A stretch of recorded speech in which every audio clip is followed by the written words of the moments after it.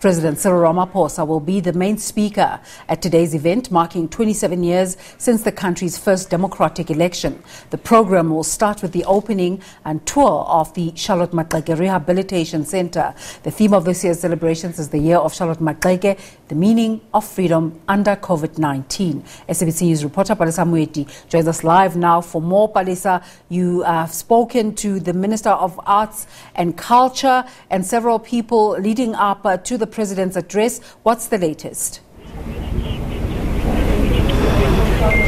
Well, right now I'll be joined by the Free State Premier, um, Mrs. Ntombela, just to talk about development in the Free State as a build-up towards today's activity. Premier, thank you very much for talking to us. Let's just talk about the protests that we've seen in the province. This event was supposed to happen in Winburg. The people there are not happy because it's been moved. They believe that they had something to benefit out of it. I understand that there's plans to take the president there at some point. What's going on now? What's, what's the latest? Uh, uh, Balisa, I'm sure everyone is aware about uh, poor service delivery across the province, not only in this province, all over. And I'm sure everybody is aware that uh, COVID 19 disturbs us a lot. But besides that, most of our people are unemployed.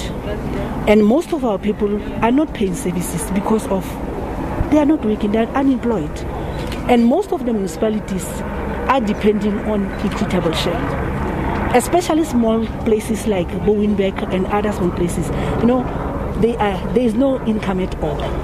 So service delivery is very, very poor. And I don't blame them for them to say please president come you know everybody wants to see president it is their right to say president must come so that we must come and talk to the president unfortunately this is the year of uh, Meshalot Maxeke. All of us you know that this year has been declared as uh, the year of Meshalot Maxeke.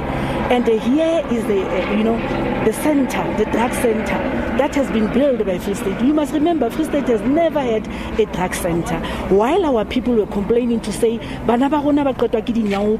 you know, our children are dying, you know, and this is the first drug center in the Free State. We don't, we never had one, and this drug center is going to assist our youth a lot. And this drug center is named after Charlotte Maxeke. That is why the presidency saw it important that they must come and launch this drug center in Botshabelo. Mara, besides that, I have also discussed the matter with the president to say, Winburg people by our batla, they want to see you. And the president agreed and said, no, I will definitely make time and go to Winburg. And I am going to make sure President Oyaya Winburg and meet with the Winburg people. It, is, it was really unfortunately, Mara, it was not to say no, he must not go to Winburg. I am going to make sure. And even in EXCO meeting, we had our own meeting in EXCO, and we said before even the president Adler, we will go there as EXCO and try to solve the problem that the Winburg people are having. You must remember, Winburg is a very special uh, place for us. When we talk about um, issues of service delivery, yes. when we talk about the high unemployment rate, yes. you know, and we, today we're celebrating Freedom Day. Can we really, really celebrate Freedom Day amidst these conditions? You know what? When I, when I, when I Palesa, we, we, we must celebrate Freedom Day. It, it, it doesn't mean uh, we have failed dismally. We have achieved so many things, uh, uh, uh, Today we are free as women. Look at me now. We are free. Today we have electricity that we never had before. Today we have water, even if we are still struggling with water. But today we do have water.